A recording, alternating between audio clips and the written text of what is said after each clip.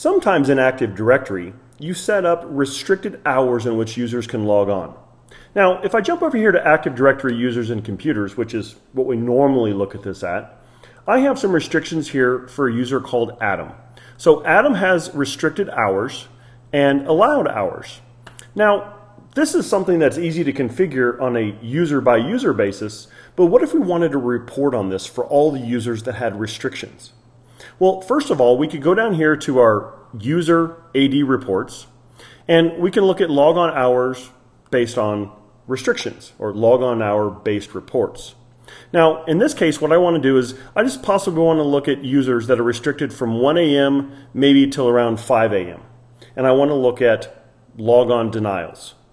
Here you can clearly see that Adam is denied this particular time period, but he's the only one that's denied. So with a tool like this, you can look at very difficult to report settings that are configured for users in Active Directory.